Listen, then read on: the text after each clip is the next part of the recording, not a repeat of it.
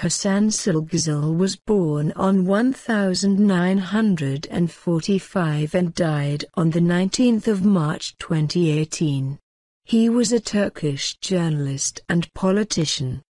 He was Minister of Education, Youth and Sport 1987 to 1989.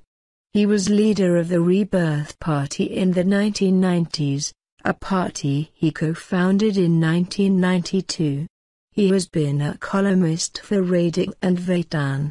After graduating from Ankara University with a degree in economics he worked in the state planning organization, and then in various administrative roles in the government including in the Prime Minister's office.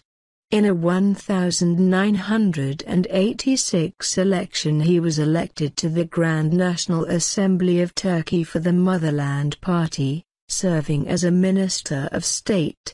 He was re-elected in the 1987 elections and was appointed Minister of Education, Youth and Sport 1987 to 1989.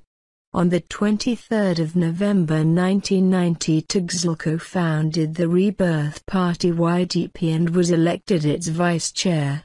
He was the leader of the party during the Turkish local elections, 1994 and 1999.